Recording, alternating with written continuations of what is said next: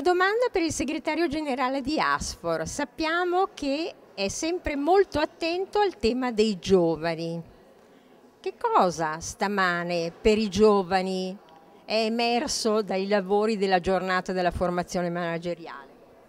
Sicuramente il valore del, delle competenze, il valore di credere in un grande progetto per poter costruire quotidianamente il proprio futuro. Io penso che in questo momento ai giovani italiani occorre dare una fortissima iniezione di fiducia perché eh, sono troppo presi da comunicazioni che non, gli danno, non danno loro una visione di un futuro possibile. Allora cosa deve fare la formazione manageriale? La formazione manageriale deve entrare nella loro capacità di essere innovatori, deve dare degli strumenti, deve dare delle capacità, delle competenze, degli skill che loro possono utilizzare nella loro attività professionale e soprattutto deve garantire un'esperienza, un contatto col mondo delle imprese e una relazione con quello che è la globalizzazione dei mercati.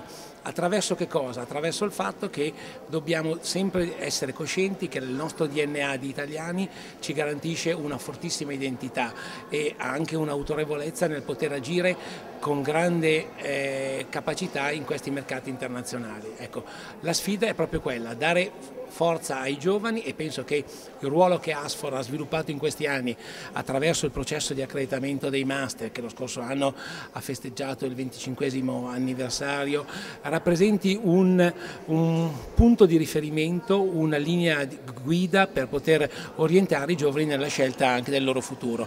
Se, frequentare un master di qualità per loro deve rappresentare una grande occasione di apprendere sì competenze, apprendere sì eh, capacità manageriali, ma soprattutto anche fare un'esperienza di vita e per questo noi siamo il ponte tra l'università i giovani e il mondo del lavoro. Passare attraverso un master accreditato di Asfor rappresenta una spinta per crearsi un futuro.